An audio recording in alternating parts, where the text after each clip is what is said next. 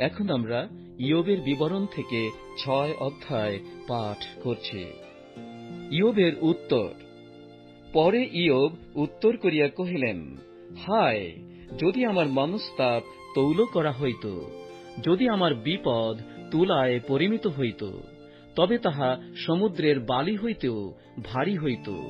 এই জন্য আমার বাক্য অসংলগ্ন হইয়া পড়ে, কারণ সর্বশক্তিমানের বান সকল আমার ভিতরে প্রবিষ্ট।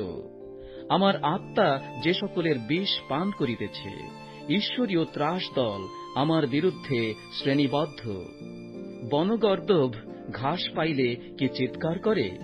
গরু জাব পাইলে কি রব করে? যাহার স্বাদ নাই, তাহা কি লবণ বিনা ভোজন করা যায়? ডিম্বের লালার কি কিছু আস্বাদ আছে?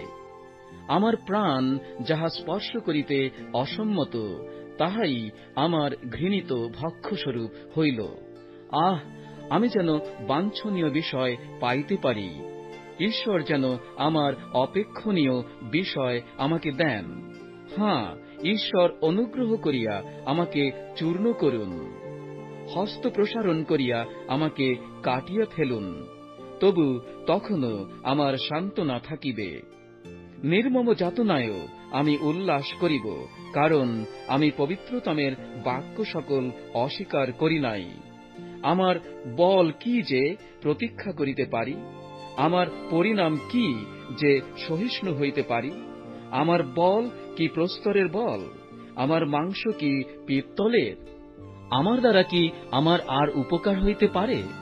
আমা হইতে কি বুদ্ধি কৌশল দূরীকৃত হয় নাই? শীর্ণ লোকের প্রতি বন্ধুর দয়া করা কর্তব্য। পাছে সে সর্বশক্তিমানের ভয় ত্যাগ করে। আমার ভ্রাতৃগণ স্রোতের ন্যায় বিশ্বাসঘাতক। তাহারা স্রোতমার্গস্থ প্রণালীর ন্যায় চঞ্চল। সেই স্রোত হিম হেতু কৃষ্ণবর্ণ হয়।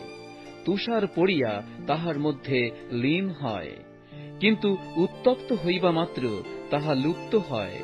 গ্রীষ্ম হইলে তাহা সস্থান হইতে শুষিয়া যায়। সেই পথের বণিক দল পথ ছাড়ে। তাহারা মরুস্থানে গিয়া বিনষ্ট হয়। টেমার বণিক দল দৃষ্টিপাত করিল। শিবার পথিক দল সেই সকলের অপেক্ষা করিল। তাহারা প্রত্যাশা করাতে লজ্জিত হইল। সেখানে আসিলে তাহারা হতাশ হইল। বস্তুত, এখন তোমরা কিছুই নও, ত্রাস দেখিয়া ভয় পাইয়াছ। আমি কি বলিয়াছিলাম, আমাকে কিছু দাও? তোমাদের সঙ্গতি হইতে আমার জন্য ভেট দাও। বিপক্ষের হস্ত হইতে আমাকে রক্ষা করো। দুর্দান্তদের হস্ত হইতে আমাকে মুক্ত করো। আমাকে শিক্ষা দাও, আমি নীরব হইব। আমাকে বুঝাইয়া দাও, কিসে আমি প্রমাদে পড়িয়াছি। ন্যায্য বাক্য কেমন প্রবল, কিন্তু তোমাদের তর্কে কি দোষ ব্যক্ত হয়? তোমরা কি শব্দের দোষ ধরিবার সংকল্প করিতেছ? নিরাশ ব্যক্তির বাক্য তো বায়ুর তুল্য। তোমরা তো অনাথের জন্য গুলিপাঠ করিবে। তোমাদের বন্ধুকে বিক্রয় করিবে। এখন অনুগ্রহ করিয়া আমার প্রতি দৃষ্টি করো। আমি তোমাদের সাক্ষাতে মিথ্যা কহিব না। তোমরা ফিরিয়া যাও, অন্যায় না হোক। আমি বলি, ফিরিয়া যাও। আমার পক্ষ ন্যায্য। আমার জিহ্বাতে কি অন্যায় আছে? আমার রসনা কি বিপাকের স্বাদ বুঝে না?